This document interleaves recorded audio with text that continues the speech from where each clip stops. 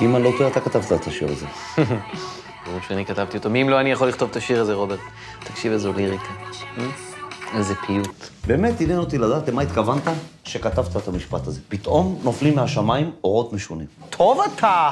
סחטיין עליך, רוברט, זאת אחת השורות. מחמיא לי ומחניף לי בו זמנית ששמת לב. אורות משונים זה כמובן אורות של עב"ם.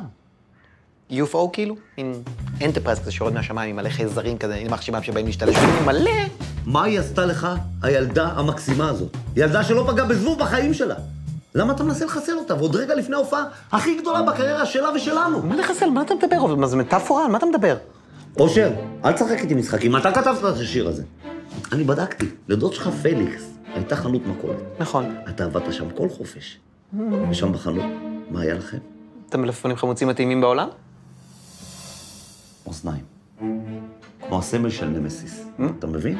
הכל בסופו של דבר מתנקז אליך. אתה חושב שאני נמסיס? שאני מנסה לפגוע בנועה? נועה שהיא כמו בת בשבילי, שהיא כמו, כמו אחות בשבילי, כמו דודה בשבילי? נועה שאני רוצה לנשק את האדמה שעליה דורכת? מי אם לא אתה? מי? כל הזמן משהו לא הסתדר לך, כל הזמן. אבל עכשיו פתאום הכל מתחבר. רוברט, תירגע, זה בגלל השיר, כי אם זה בגלל השיר, פתאום נזכרתי שלא אני כתבתי אותו. תגיד לי, אתה משחק איתי משחקים? אתה מנסה לצחוק עליי? חלילה, פשוט פרחו מזיכרוני הנסיבות המדויקות. לפני רגע אתה הודית שאתה כתבת אותו. אני גם בדקתי בעכו"ם.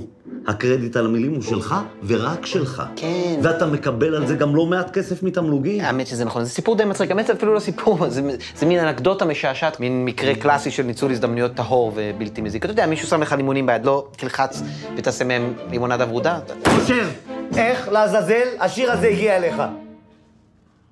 זוכר את הפעם ההיא שנועה הייתה שופטת אורחת בסטאר קוולטי? תמשיך.